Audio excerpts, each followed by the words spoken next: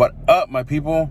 Haven't seen you guys all year, honestly. I think last time I uploaded a video was like, I can't remember. It was like the very beginning of this year. Um, well, last year, technically.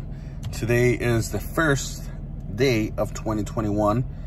And I am so happy 2020 is over. It was such a bullshit year. Um, I don't even have to even go in depth about it because you guys know what I'm talking about. Um, however, I want to let you guys know that I purchased a new vehicle um, December of 2020.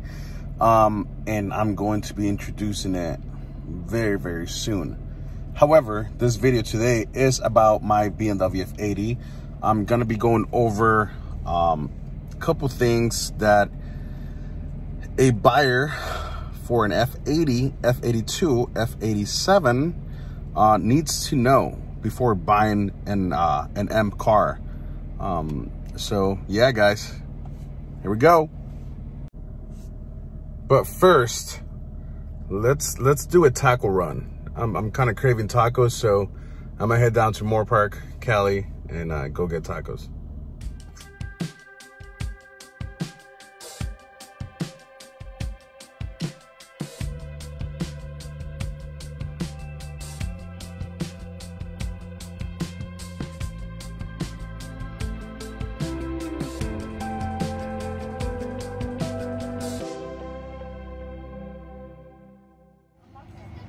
Unlock it. All right yo. You guys gotta come check this yolo cups out. They're mobile so they happen to be all over pretty much la county ventura county. Today they're in Moorpark check them out on instagram yolo cups. They be looking wet as usual. There's my lady my beautiful lady. Ooh, I like your jacket. Ooh, the Ruka girl. Ew. Look at that booty. No, I'm just kidding. hello, hello, hello. All right, guys. So I couldn't finish the video last night. Um, by the time I got home from picking up tacos, it was way too late. There was no light outside. So I decided to do it the very next day. So I will be talking about this components in just a minute.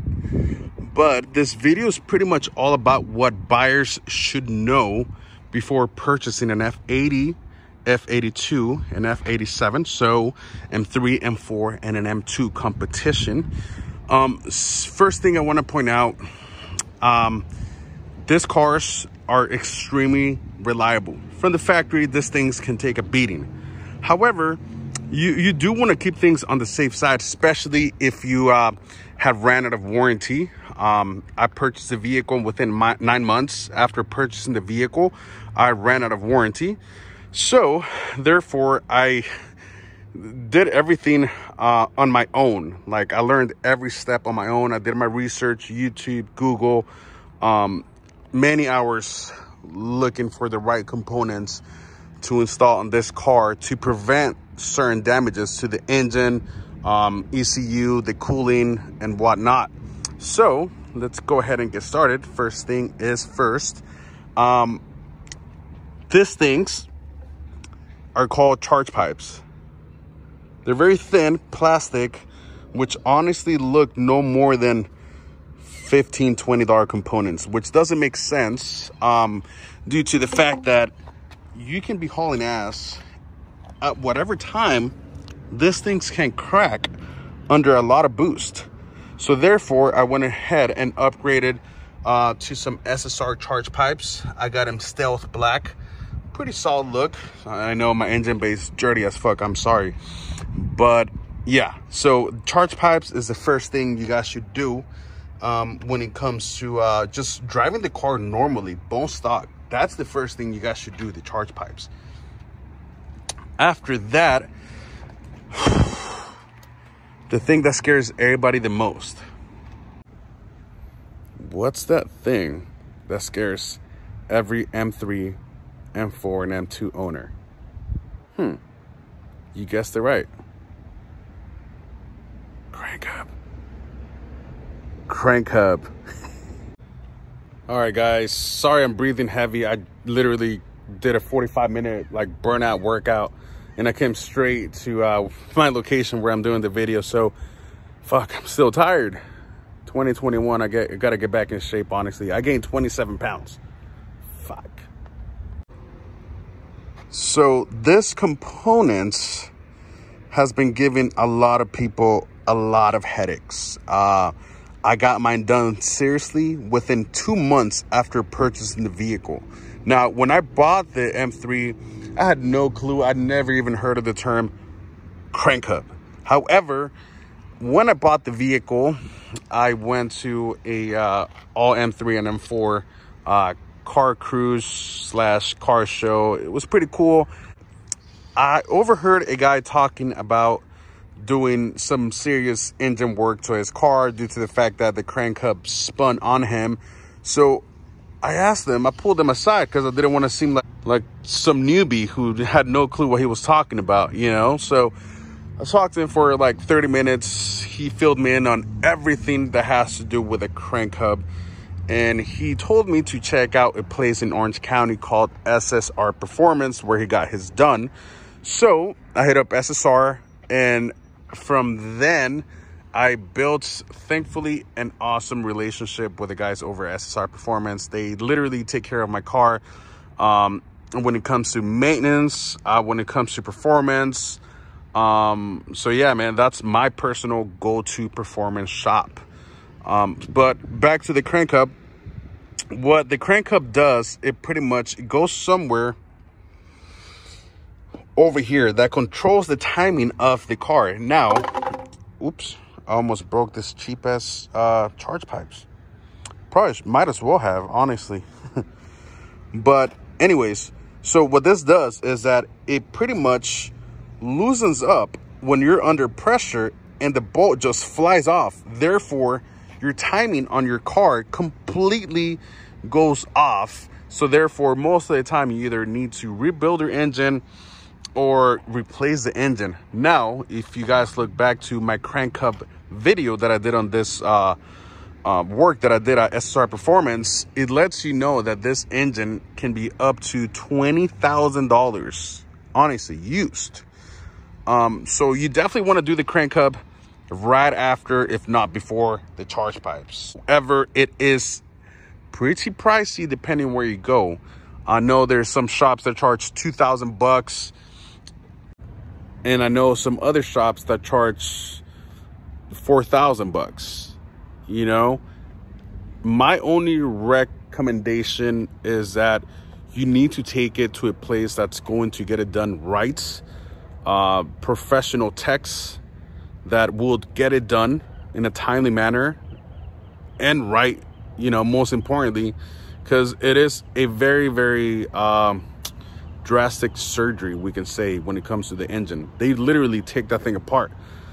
Um, I wouldn't recommend you going to a place where they're gonna do it for 2,500 bucks. I would rather, honestly, go to a place that's going to charge more and make sure you look at their reviews, ask around the BMW community uh, for the M3 and M4. It's not big. It's getting big, but it's not that big. So just ask around. You know, I, I did my asking around before I did the crank hub, before I did anything on the car. So that's why I did all the mods um, that I did to my car. So I got two things out of the way. Charge pipes, replacements, crank hub replacement. Now, the brakes. Oof, what, how can I even start with this brake service? I'm gonna just be honest with you, it's not cheap.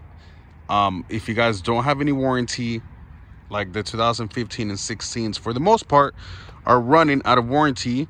Um, I paid upwards of 25 $2,700 for a full brake service front and back for this car.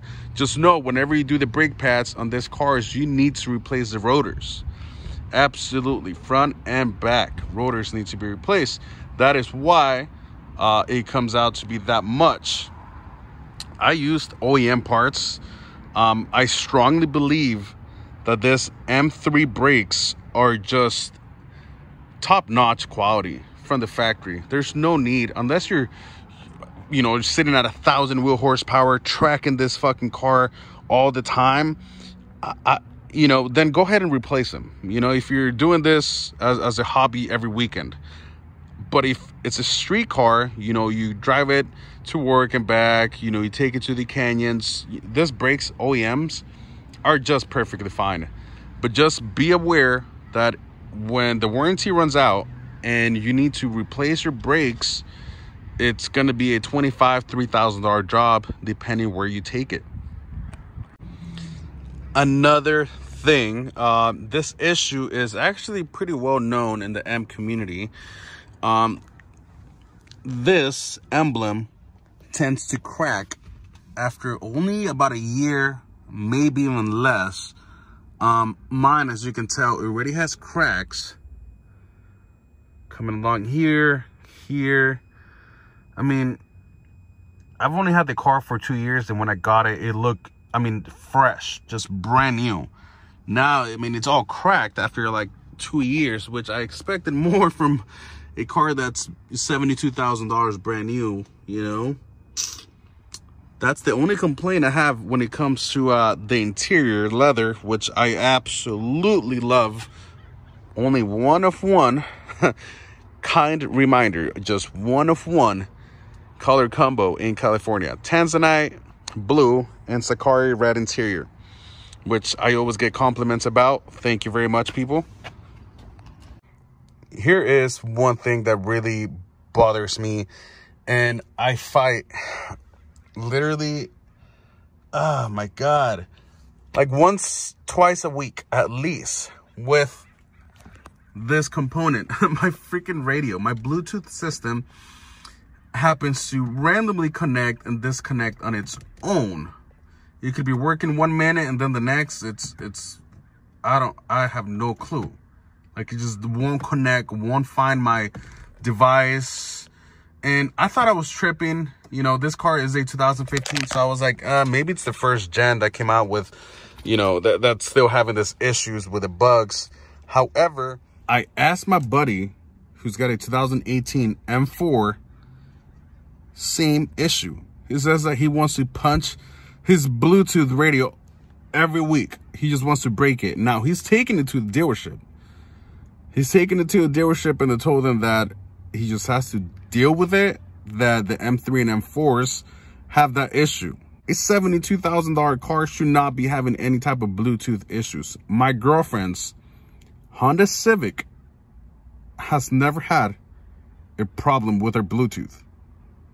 So I don't know what's up with BMW. Maybe they got to figure that bug out. But, you know, it is what it is for now, you know. Um, other than the, you know, the things I talked about, can't really complain about this vehicle. I mean, when it comes to stopping, it stops on a dime. Performance, obviously this thing is very well known for hauling ass and being a total sleeper that surprises a lot of people. Um, just know that when it comes to maintenance work, you have to pay for it if you run out of warranty. You know, it sucks. Uh, the brakes, I just wanted to point out the brakes because that was ex shockingly expensive. Surprise, nearly $3,000 for entire brake service.